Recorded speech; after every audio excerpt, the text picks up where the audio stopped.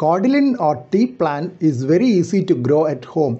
Cordyline plants come in a variety of colors including those with green leaves.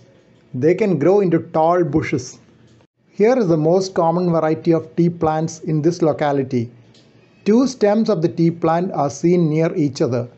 A crepe jasmine plant with green leaves can be seen behind and between the two Ti plant stems. This is a more colorful variety of Ti plant seen over here. This plant has been called Hawaiian Ti plant and even as good luck plant.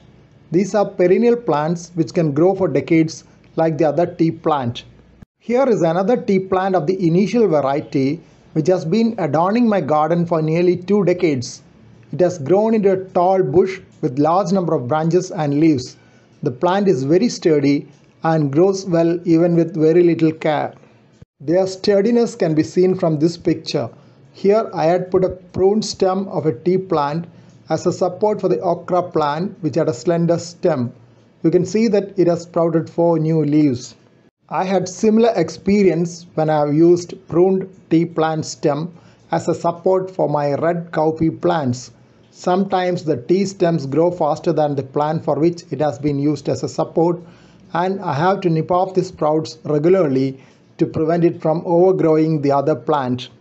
Here is a short video clip of my longest surviving Ti plant which has been there for nearly two decades. It has sprouted multiple stems and has a large number of leaves, almost an evergreen plant.